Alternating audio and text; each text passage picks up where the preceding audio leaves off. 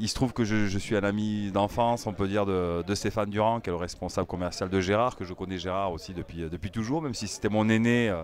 sur les terrains de rugby, qu'évidemment j'ai suivi depuis on va dire 20 ou 25 ans ou 30 ans, l'ascension enfin, du, domaine, la réussite. De, son exploitation, son parcours sportif, humain, professionnel et, que je suis très admiratif et, euh,